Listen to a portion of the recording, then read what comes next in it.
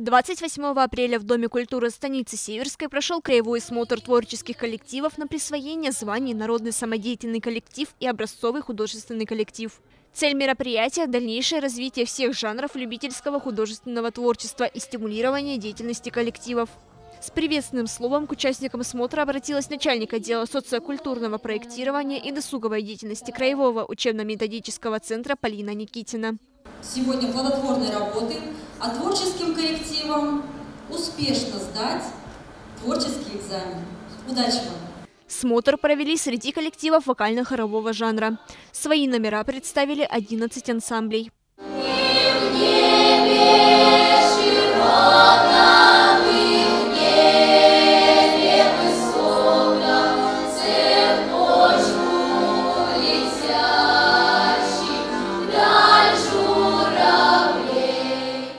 Bye-bye.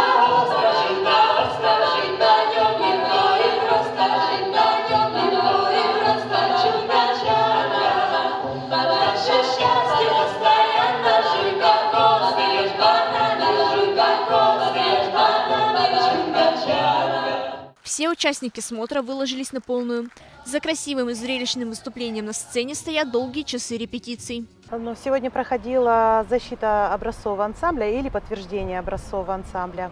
Э, нами было представлено два коллектива. Это э, образцовый ансамбль «Небеса» и ансамбль народной песни «Ягодка», который должен был как раз-таки сегодня защищаться. Я не скажу, что дети сильно волновались, потому как дети э, профессиональный коллектив, они привыкли быть на сцене, они часто выступают.